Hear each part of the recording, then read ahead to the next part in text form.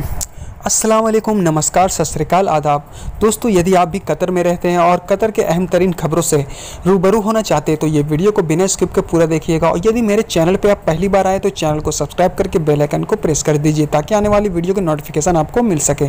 तो दोस्तों, आज की सबसे जो बड़ी खबर दोस्तों आ रही है, वो कतर एयरवेज़ की तरफ़ आ रही है। तो दोस्तों, आपको बता दूँ कतर एयरवेज़ दोहा में जितने भी स्टाफ वहाँ पे काम करते हैं, सभी की इस महीने की सैलरी 50 परसेंट काट ली जाएगी। मतलब दोस्तों, काटी जाएगी मतलब ये सैलरी उसे बाद में मिलेगी।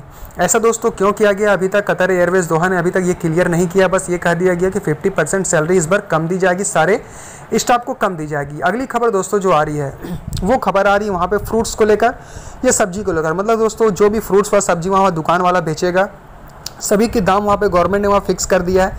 जैसे कि दोस्तों आप लिस्ट में देख सकते हैं, इसका ऑफिशियल वेबसाइट में भी आप देख सकते हैं, सारे फलों का दाम को फिक्स रेट कर दिया गया, उससे ज़्यादा वो नहीं ले सकते हैं। अगली दोस्तों जो खबर आ रही, वो भी कतर एयरवेज़ की तरफ़ है, तरफ़ से। दोस्तों जैसा कि आपको पता है, बहुत से लोगों ने लॉकडाउन से पहले बहुत से टिकट लिया था, जिनमें से जो लोग घर जाना चाहते थे या फिर घर वापसी करना चाहते थे, सभी ने टिकट लिया था, पर दोस्तों वो घर नहीं जा पाए तो दोस्तों आपके लिए अच्छी खबर ये है कि वही टिकट से दोस्तों आप बाद में भी सफ़र कर सकते हैं। ये कतर गवर्नमेंट ने बोल दिया, दो साल तक इसकी वैलिडिटी रहेगी। आप दो साल तक इसमें कहीं भी आप सफ़र कर सकते हैं, या तो पैसा रिफंड करा के कोई भी आप, कोई कहीं और जाना चाहते कभी तो जब जब रेलवे सारे स्टार्ट हो जाए तो आप जा सकते हैं। आपको पैसा बर्बाद नहीं हुआ है। तो ये दोस्तों, ये काफ़ी ज़्यादा अच्छी खबर है।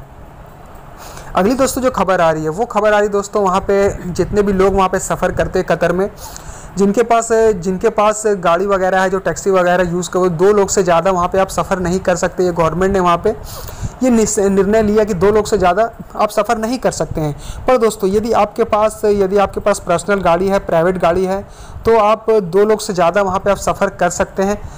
पर उसमें भी दोस्तों नियम कानून होंगे, उसमें सिर्फ़ आपका रिश्तेदार होना चाहिए और जो ड्राइवर चलाने वाला होगा, वो आपके खुद के फैमिली मेंबर का होना चाहिए। दूसरे लोग यदि ड्राइवर है तो आप नहीं चलवा सकते हैं। मतलब मतलब तीन फैमिली, आप आप दो लोग से ज़्यादा नहीं चल सकते हैं। और दोस्तों, यदि आप, थोड़ी छूट दी गई है एंबुलेंस के लिए और vehicle of ministry public health and security and military authority को ये सब लोगों को फ़िलहाल छूट दी गई है। उसमें लोग आना जाना कर सकते हैं, गाड़ी में बैठकर और खासकर एंबुलेंस में भी आप तीन चार लोग जा सकते हैं। अगली दोस्तों खबर है वो ईद की छुट्टी को लेकर है। तो दोस्तों, जैसा कि आपको पता है, ईद की, ईद आने वाली है। तो दोस्तों, वहाँ प्राइवेट जितनी भी कंपनियाँ हैं और सरकारी कंपनियाँ, अब ईद की छुट्टी का अलाउंस हो गया है। तो दोस्तों, ईद की छुट्टी होगी। वहाँ पे जीट की छुट्टी दोस्तों 19 तारीख से लेकर 28 और 30 तक। मतलब कुछ जगहों तक 28 को ओपन हो जाएगा कंपनी कुछ जगह 30 को होगा। तो दोस्तों, ये कुछ अपडेट थी जो कतर से आ रही थी। तो मिलते साथ ही उसी तरह के नेक्स्ट अपडेट को लेकर। तो मिलते तो अभी के लिए दोस्तों इतने तब तक ले जय हिंद, अल्लाह हाफिज़ टेक केयर